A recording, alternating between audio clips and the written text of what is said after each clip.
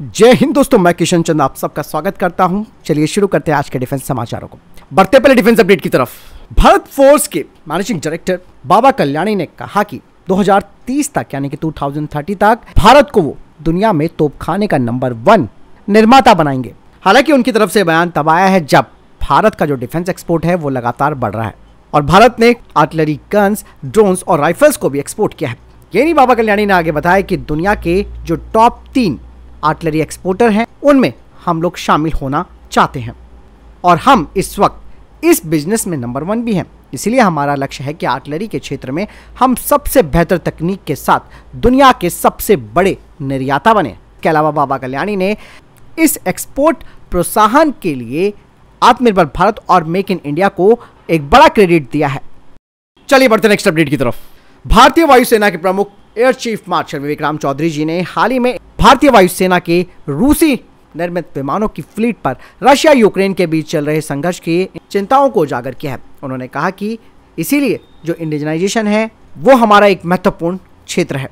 लेकिन विवेक राम चौधरी जी ने कहा कि भारतीय वायुसेना ने एक्टिवली इस समस्या पर फोकस किया और अब जो स्वदेशीकरण है, उस पर हमारा फोकस इस तरीके से हो गया है कि हमने विमानों के लिए जो महत्वपूर्ण कंपोनेंट्स हैं, उनका निर्माण शुरू कर दिया है। और इस पहल में स्पेयर पार्ट्स के लिए रशिया सहित विदेशी आपूर्तिकर्ताओं पर निर्भरता भी काफ़ी कम हो गई है। और इसका परिणाम ये हुआ है कि यूक्रेन संघर्ष का भारतीय वायुसेना के द्वारा जो ऑपरेट किए जा रहे रशियन फाइटर जेट्स हैं, उनके पुर्जों यानी कि स्पेयर्स की आपूर्ति पर बहुत ही कम इम्पैक्ट पड़ा है। हालाँकि विवेक राम चौधरी जी ने इस बात को भी एक्सेप्ट किया है कि कुछ जो रशियन सिस्टम्स हैं उनकी आपूर्ति में एक व्यवधान का सामना तो करना पड़ा है। हालाँकि उन्होंने किसी प्रणाली का नाम नहीं लिया, लेकिन ऐसा सूत्रों की तरफ़ से कहा जा रहा है कि ये हो सकता है कि आई एल छिहत्तर भारी जो ट्रांसपोर्ट एयरक्राफ्ट हैं और जो पुराने रशियन एयर डिफेंस सिस्टम्स हैं, उनकी जो पुर्जे हैं, यानी कि स्पेयर्स हैं, उनकी चुनौतियों का सामना शायद भारतीय वायुसेना को करना पड़ रहा है। हालाँकि इंडियन एयरफोर्स एक्टिवली यानी कि सक्रिय रूप से इन कमियों को एड्रेस कर रही है। और स्पेयर पार्ट्स के लिए स्वदेशी ऑप्शंस विकसित करने के लिए स्थानीय कंपनियों के साथ भी सहयोग भारतीय वायुसेना कर रही है। ये एक लॉन्ग टर्म उद्देश्य भी है हमारा, जो भारत बढ़ते नेक्स्ट अपडेट की तरफ़, जो कि बीएमडी फ़ेज़ टू प्रोग्राम को लेकर आ रही है। हाल ही में कुछ सैटेलाइट तस्वीरें सामने आई है, जिसमें देखा गया है कि भारत के आईटी सेंटर बेंगलुरु के उत्तर पूर्व में एक नए रडार पर काम चल रहा है। और ऐसे में कहा यह जा रहा है कि यह भारत के बैलिस्टिक मिसाइल डिफेंस यानी कि बीएमडी प्रोग्राम के दूसरे फ़ेज़ के लिए तैनातकी की जगह हो सकती है। कहा यह जा रहा है कि ये जो नई फैसिलिटी है, उसका उद्देश्य खास तौर पर बेंगलुरु और हैदराबाद को बैलिस्टिक मिसाइल हमलों से बचाने के लिए डिज़ाइन की गई इंटरसेप्टर मिसाइलों को रखना है। हालाँकि इसके बारे में ज़्यादा जानकारी सामने नहीं है, लेकिन कुछ रिपोर्ट्स बताती हैं कि ये जो साइट है, उसका डुअल पर्पस हो सकता है, यानी कि दोहरे उद्देश्य हो सकते हैं।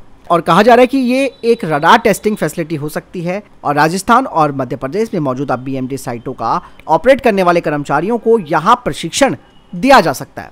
आपको बता दें कि जो पहला फ़ेज़ है बीएमडी का, वो दिल्ली और मुंबई की सुरक्षा के लिए जिम्मेदार है। ये डोम शेप्ड का स्ट्रक्चर यानी कि गुंबद की आकार की संरचना सॉर्ट फ़िश रडार का एक बहुत लंबी दूरी का संस्करण हो सकता है, जो कि इसराइली ग्रीन पाइन टेक्नोलॉजी पर आधारित है। और इस रडार का इस्तेमाल इसराइल का एरो डिफेंस सिस्टम भी करता है। यह एडवांस रडार 1500 किलोमीटर की रेंज का दावा करता है, जिसे संभावित मिसाइल खतरों का जल्द से जल्द पता लगाने और ट्रैकिंग करने की अनुमति मिल जाती है। भारत के बीएमडी प्रोग्राम के सेकेंड फ़ेज़ का लक्ष्य बेंगलुरु, हैदराबाद, चेन्नई और कोलकाता जैसे जो प्रमुख शहर हैं, उनको शामिल करने के लिए अपनी सुरक्षा कवच का विस्तार करना है। और ये अधिक मज़बूत नेशनल मिसाइल डिफेंस सिस्टम की दिशा में एक महत्वपूर्ण कदम का प्रतीक है।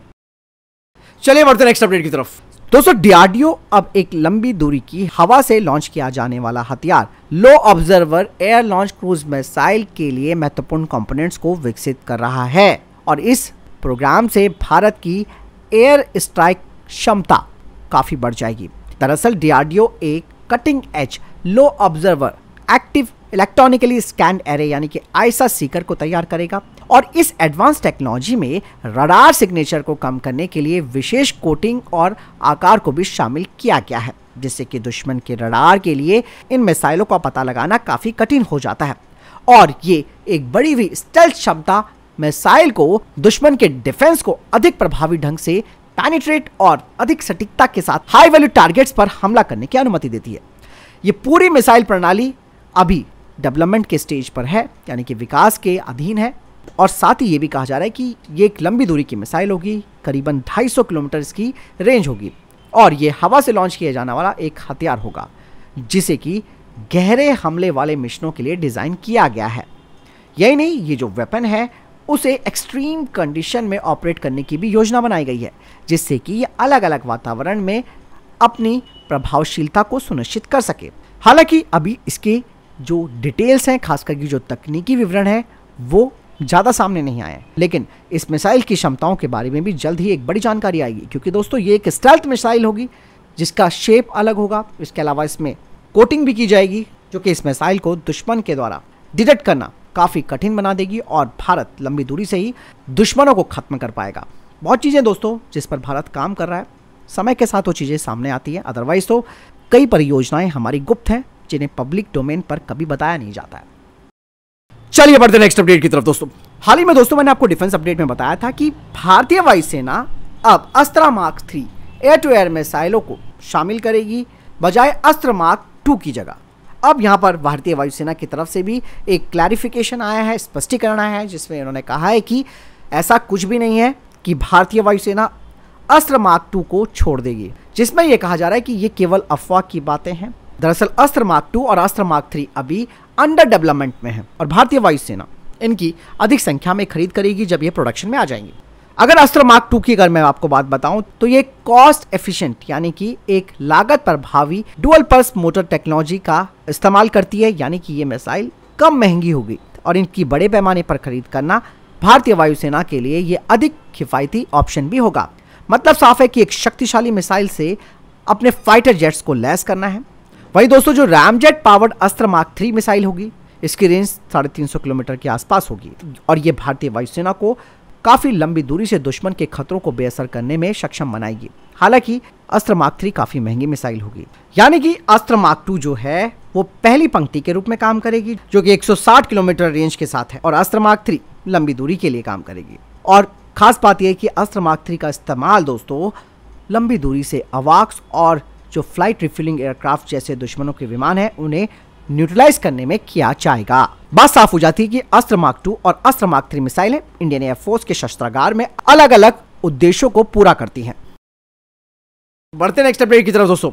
एयरबस ने अपने latest Eurofighter Typhoon tranche five variant का ऑफ़र भारतीय वायुसेना के 114 एमआरएफए प्रोग्राम में किया है, जिसके कई सारे फीचर्स हैं, जैसे कि इसका एक पावरफुल स्कैन आइसा डाटा इसके अलावा इसमें इन्हांस डिफेंस एड्स लगे हैं। इसके अलावा इसका ह्यूमन मशीन इंटरफेस डिज़ाइन है, जो कि ऑप्टिमल पायलट परफॉर्मेंस के लिए होता है। इसके अलावा ट्रांच फाइव के साथ भारत को कई ऑफ़र मिल रहे हैं, जिसमें कि ये भी कहा जा रहा है कि आगे लॉन्ग टर्म में जो भी इसमें पैकेज अपग्रेड होगा, जो कि इस वक्त चल रहा है, वो भी भारत को दिया जाएगा।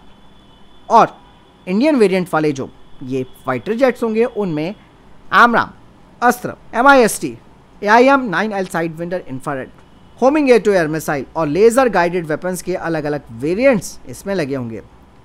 आपको मैं बता दूँ कि एयरबस का यूरोफाइटर ट्रांच एम के लिए एक बाध्यकारी मामला हो सकता है। दरअसल मैं एक चीज़ आपको बता दूँ कि जब भारत का पहले का जो एमआरसीए टेंडर था उसमें यूरोफाइटर राफेल से केवल कीमतों के मामले में पिछड़ गया था, लेकिन तकनीकी मामले में ये राफेल से काफ़ी अच्छा है। बढ़ते नेक्स्ट अपडेट की तरफ़। दोस्तों चाइना लगातार लद्दाख में अपनी सैन्य ताकत बढ़ा रहा है। हाल ही में चाइना ने एलएसी से बिल्कुल सटे शिंजियांग में अपने एंटी एयरक्राफ्ट मिसाइलों के साथ एक लाइव फायरिंग ड्रिल का अभ्यास किया। और चाइना ने इस एक्सरसाइज के दौरान अपने एंटी मिसाइल सिस्टम और एयर डिफेंस सिस्टम्स के साथ एक्सरसाइज की है। बाकायदा इसका एक वीडियो भी उन्होंने जारी किया है। दरअसल मैं आपको बता दूँ कि चाइना इस बात से काफ़ी टेंशन में है कि भारत ने अपने राफेल फाइटर जेटों को तैनात किया हुआ है। और यही वजह है कि वो इस तरीके के अभ्यास कर रहा है ताकि वो राफेल फाइटर जेट को मार गिरा सके। साथ ही चाइना के पास रशिया से मिले हुए एस फोर सिस्टम भी है, जिसे कि उसने तिब्बत पर तैनात किया है। चलिए बढ़ते नेक्स्ट की तरफ़ दोस्तों। अमेरिका की तरफ़ से कहा जा रहा है कि भारत ने अपने मॉडर्नाइजेशन प्रोग्राम के तहत रशिया के उपकरणों पर निर्भरता को कम करने के लिए कई कदम उठाए। अमेरिकी खुफिया एजेंसी के निदेशक ने कहा कि पिछले साल भारत ने जी ट्वेंटी के आर्थिक शिखर सम्मेलन की मेजबानी की और खुद को एक वैश्विक शक्ति के रूप में प्रदर्शित किया। यही नहीं उन्होंने कहा कि भारत का डिफेंस एक्सपोर्ट भी ज़बरदस्त बढ़ा है और फिलीपीन जैसे दक्षिण चीन सागर के साथ भारत ने हिंद प्रशांत क्षेत्र में अपनी साझेदारी बढ़ाई है। यही नहीं, भारत ने ऑस्ट्रेलिया, फ्रांस, जापान और अमेरिका के साथ अपने सहयोग को भी मज़बूत किया है। बात साफ़ हो जाती है दोस्तों, अमेरिका की तरफ़ से बयान इसलिए भी आ रहे हैं क्योंकि वो चाहता है कि भारत कहीं ना कहीं रशिया से हथियार खरीदना बंद कर दें। हालाँकि बात तो आगे के लिए बहुत अच्छी बात है, लेकिन अमेरिका बिल्कुल भारत और रशिया को दूर करना चाहता है हर क्षेत्र में। चलिए बढ़ते नेक्स्ट अपडेट की तरफ़। दोस्तों, भारत का स्ट्रैटेजिक यानी कि रणनीतिक जो चाबुआ एयरबेस है ये पूर्वी कमान के तहत आता है इंडियन एयरफोर्स के। अब कहा जा रहा है कि यहाँ पर मॉडर्नाइजेशन का काम चल रहा है। हाल ही में सैटेलाइट इमेजेस से पता चला है कि यहाँ पर एक्सटेंसिव रिनोवेशन चल रहा है और ये अपग्रेड एयरबेस की क्षमताओं को बढ़ाने के लिए एक मल्टी प्रोलॉन्ग अप्रोच का प्रतिनिधित्व भी करता है, जिसमें कि नई भूमिगत यानी कि अंडरग्राउंड म्यूनिशन स्टोरेज सुविधाओं का निर्माण भी शामिल है, जो कि एयरबेस की हथियार रखने की क्षमता को बढ़ाते हैं। इससे भारतीय वायुसेना की मारक क्षमता और तैयारियों को भी काफ़ी ताकत मिलेगी। यही नहीं, इसके अलावा बेस को, एयरक्राफ्ट के लिए हार्ड एंड शेल्टर्स भी मिलेंगे, जो कि दुश्मनों के हमले के खिलाफ महत्वपूर्ण सुरक्षा प्रदान करते हैं।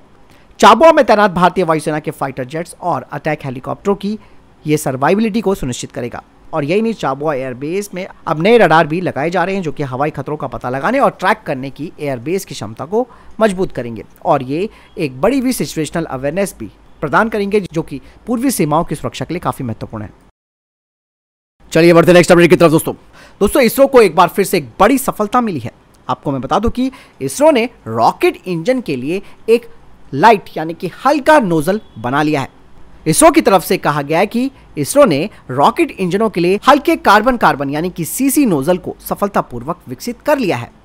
जो रॉकेट इंजन टेक्नोलॉजी में एक नई पहल की शुरुआत है साथ ही इसरो की तरफ़ से कहा गया है कि इस हल्के नोजल से अब रॉकेट की पेलोड क्षमता और ज़्यादा बढ़ जाएगी और इसे तिरुवनंतपुरम स्थित विक्रम साराभाई अंतरिक्ष केंद्र के द्वारा बनाया गया है। बता दें कि इसके ज़रिए रॉकेट इंजनों के महत्वपूर्ण जो पैरामीटर्स हैं, उनको बढ़ावा मिलेगा। इसमें थ्रस्टर लेवल, स्पेसिफिक इम्पल्स और थ्रस्ट टू वेट रेशो भी शामिल है। और इन्हीं बदलावों से रॉकेट की पिलोट क्षमता में वृद्धि होगी। साथ ही इसरो ने बताया कि नोजल डाइवर्जेट बनाने के लिए कार्बन कार्बन कंपोजिट जैसी उन्नत मटेरियल्स का इस्तेमाल किया गया, जो कि एक बेहतर गुण प्रदान करते हैं। यानी इसकी सबसे खास विशेषता यह है कि इसकी सिलिकॉन कार्बाइड की विशेष एंटीऑक्सीडेंट कोटिंग है, जो कि ऑक्सीडाइजिंग इन्वायरमेंट में इसकी ऑपरेशनल सीमा को बढ़ाती है। और ये इनोवेशन न केवल थर्मल प्रेरित टेंशन को कम करेगा बल्कि रॉकेट लॉन्चिंग के दौरान होने वाली कोरिजन अवरोध को भी बढ़ाएगा और इसका इस्तेमाल विशेष रूप से पीएसएलवी के लिए किया जाएगा। तो फ़िलहाल अभी तक के टॉप डिफेंस अपडेट्स वीडियो के संबंध में कोई प्रश्न, जवाब आपका कोई सवाल है कमेंट सेक्शन में लिखकर ज़रूर पूछ सकते हैं। मिलता हूँ नए वीडियो के साथ। चैनल सब्सक्राइब कीजिएगा। जय हिंद, वंदे मातरम।